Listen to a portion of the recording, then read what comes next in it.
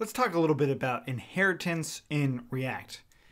What you see right here is a class that's inheriting from another class, the actual React component class. And that's how we actually render out our component. Now you might be tempted to write some code in your own class and then inherit from that. In other words, do something like class my new wrapper extends parent wrapper and do that. Now, it probably will work, but it's definitely not recommended because of a lot of reasons. One of them being that you start to make your code a lot more confusing this way. Keeping it as a component will make things a lot easier for you in the long run.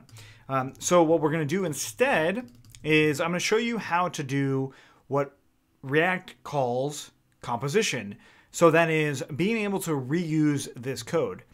A lot of this is coming straight from the docs, but it's still important to see how it works and just understand a little bit better on all this.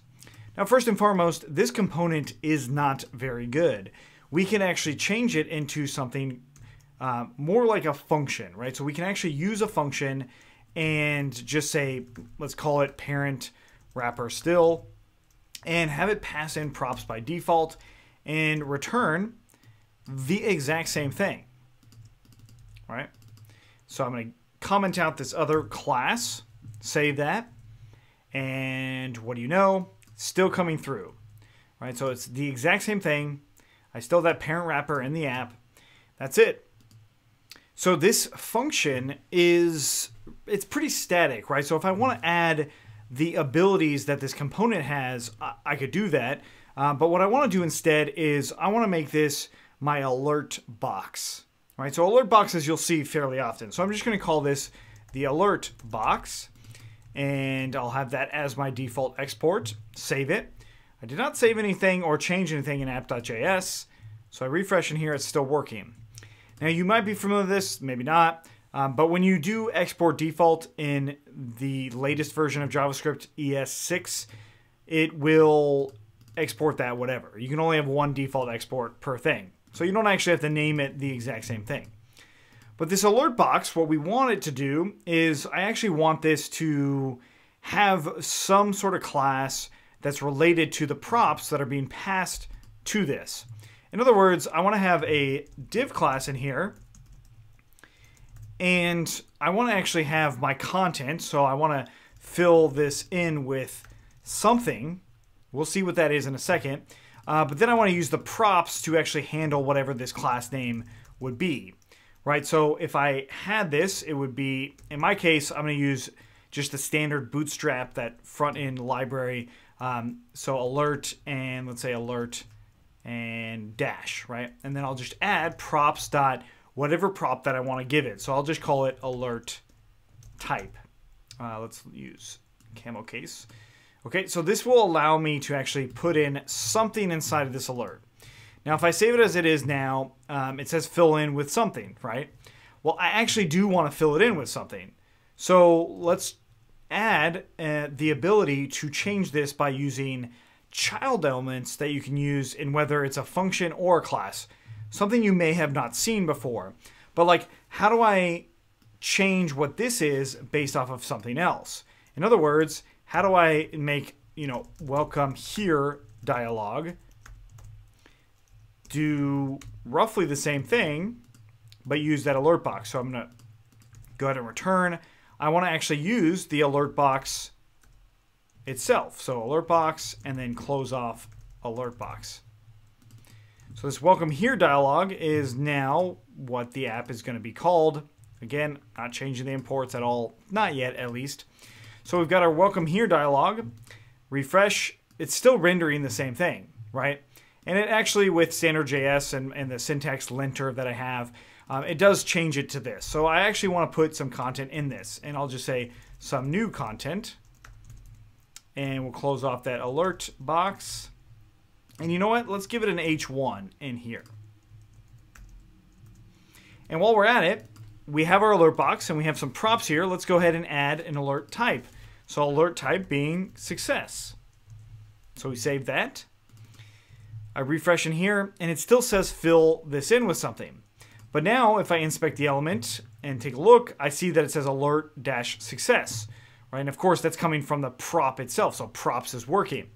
Now, again, you could do this same thing with the component itself, right? It's, it's actually not a whole lot different here. You would just be calling the component like that and then using props. And let's, let's actually just do it. So I'll just go in here and say const alert type equals to this dot props.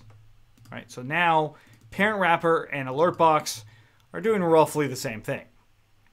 So let's let's just keep that going. We'll we'll, we'll actually show you both things. I mean, it's not a whole lot different anyway. But um, how do we actually change the content that's coming through here based off of the content that we have as considered contained in this element? Um, well, this is a child component of the property. So all I do here is props.child or children rather. Um, and again, oh, sorry, this is in the wrapper. So we would say const um, children equals to this dot props. You could do something like that, or really it'd be this dot props dot children. That's more likely how you would write it. And then here it is just simply props dot children because that's the method that's going to be passed by default to functions that are used in this manner as a component. Okay, so there we go.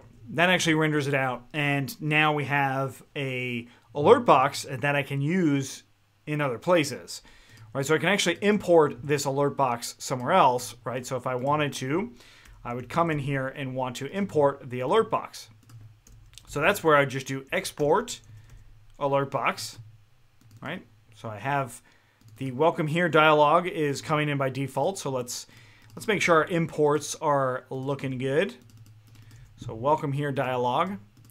I'm going to comment out this parent wrapper. We don't need that anymore.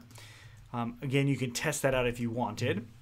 But now let's go ahead and try our alert box out in app.js, just like we did before. And this time it's uh, we called it alert type. I'll just say danger. And I think this is working. Dot, dot, dot. Close off that alert box. We save it. And we come back in here. I think this is working. Dot, dot, dot. I go and inspect this element here. And what do we've got? We've got danger, success, and what do you know? It's actually rendering it the way you might think. And this is how you can reuse that, right? So that actual piece I can now reuse anywhere. And of course, with all this, I can still use a class component, you know, something like this, and have it rendered in here as well. So let's just say sub item and you know do this exact same thing, right? Like like that's that's not probably not that's shocking here. But that's where you would actually move these things out and, and have it where if you have functions or methods that you want to reuse over and over again, this would be a really good way to do that. Now, of course, it doesn't have to be done exactly like this. It's kind of up to you. But the idea here is that you have these components that you build and you can share them across other ones, right? So this these functions here can be shared against other code, and that's just how you do it. You want to make sure you're exporting it much like I have here. You can only do one default export, like I have, and with multiple exports, you can do it, I mean, much like I just did. So sub item, uh, alert box, sub item, just like that. And then that way we could import those things elsewhere, like that. Pretty cool, huh? Thanks for watching. Uh, make sure you subscribe to get everything. I'm going to be covering a lot more stuff on React here and in the future. I think this piece is pretty cool and it'll help speed up, you know, not rewriting everything that you need to do over and over again in your projects. And also, the main thing here is understanding that we shouldn't be doing our own custom class components or overriding that custom class component.